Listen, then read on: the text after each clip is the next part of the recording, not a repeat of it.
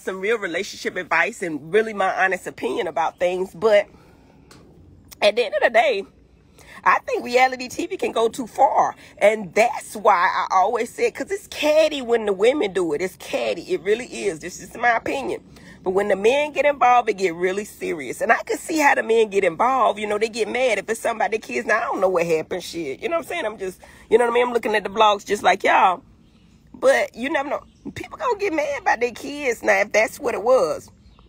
And it looked like to me, a man gonna protect. Now I already told y'all Martell loved that Melody.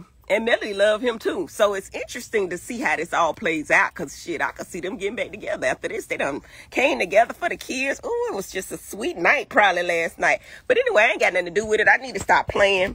Them people serious. And whatever had happened, Miss Wanda, leave them people alone. Leave them alone. Let them go. Leave them go. And I think that if it was Marsau involved, it was just that he was trying to protect his family, like both of them, both of them, you know. And I, you can't this, you can't not respect that. I mean, and Miss Wanda uh said something about the kids. If she did, I don't know. And Melody approached her about it. Maybe Martell got mad. People get mad about the kids. Maybe Martell came as her too strong or whatever, or tried to break some. I don't know. But then maybe Marsau got in it. And sometimes when men are mad at women, they'll divert their anger onto the man who ain't got shit to do with it, or is involved because he's part of the family.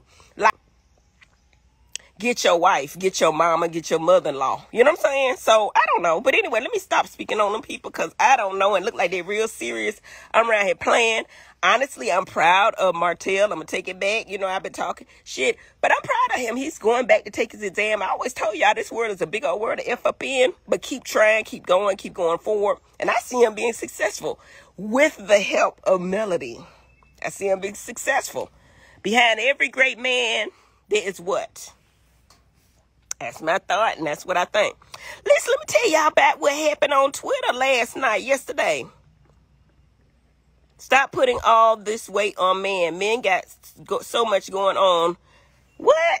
What? I ain't putting no weight on nobody. Y'all need to know what the hell y'all talking about. Putting all this, putting all this weight on man. Men got too much shit going on.